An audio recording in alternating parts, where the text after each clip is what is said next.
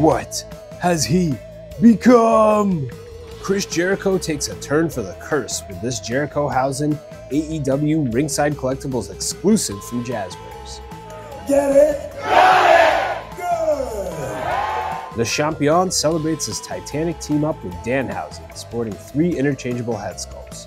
The first scan looks very nice as it flashes a toothy grin plastered across his mug. The second scan looks very evil, letting out a mid-match yell. The third features a wide-eyed gaze.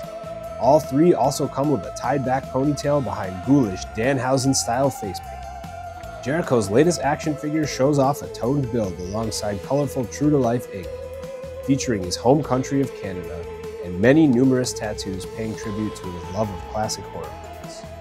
The rock and wrestling legend is dressed in black tights with studded, red trim panels evocative of Danhausen's sinister color scheme. He's also equipped with a set of thick, adjustable knee pads resting comfortably above long style lace black boots.